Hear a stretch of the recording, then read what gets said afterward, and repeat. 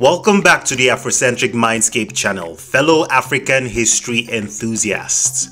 Today we delve into the complex life and legacy of one of Africa's most enigmatic figures, Muammar Gaddafi.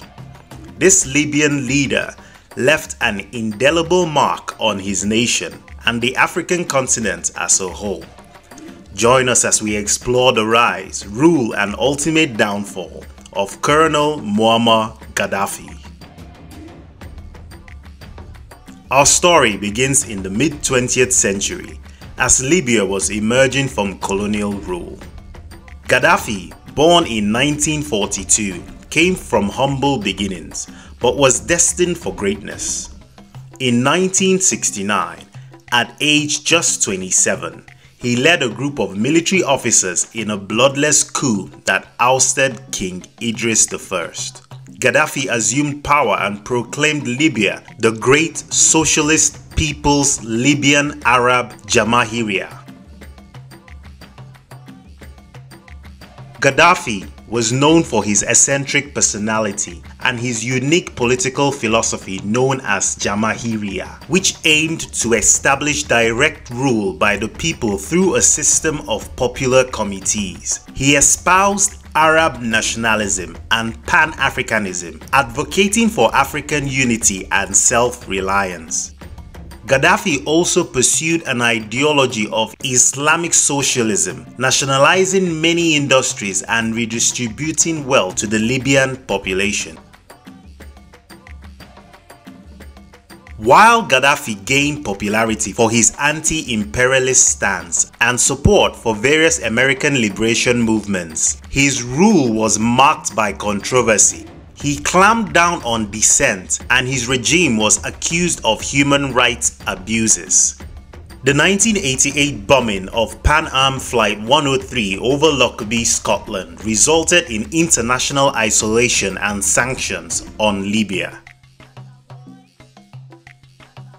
Gaddafi's influence extended far beyond Libya's borders. He played a pivotal role in the formation of the African Union in 2001, advocating for greater African unity and the establishment of a single currency.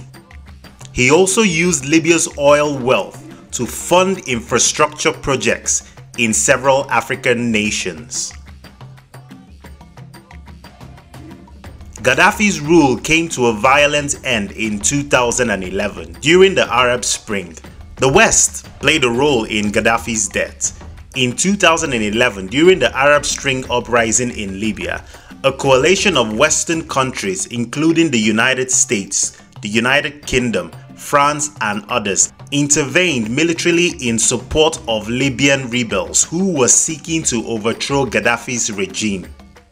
The United Nations Security Council passed Resolution 1973, which authorized all necessary measures to protect civilians in Libya.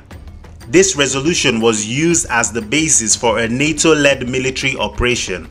Western countries provided airstrikes, logistical support, and other assistance to the Libyan rebels. During this conflict, Gaddafi's convoy was targeted by a NATO airstrike on October 20, 2011, near his hometown of Sirte. He was captured alive by rebel forces and subsequently killed, leading to significant controversy and debate about whether this was an extrajudicial killing or not. The circumstances surrounding Gaddafi's death remain a subject of international scrutiny, controversy and debate as of today. Gaddafi left a polarizing legacy some view him as a revolutionary leader who challenged Western imperialism and contributed to African unity, while others condemn him for his authoritarian rule and alleged human rights abuses. Libya, once one of Africa's wealthiest nations, has since struggled with instability and conflict.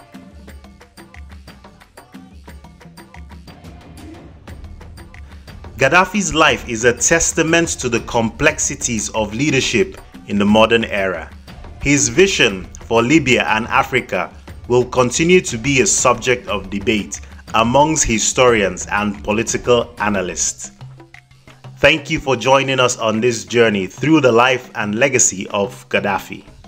Don't forget to like, subscribe, and hit that notification bell for more fascinating insights into African history. Until next time, keep exploring the past to understand the present. Bye for now.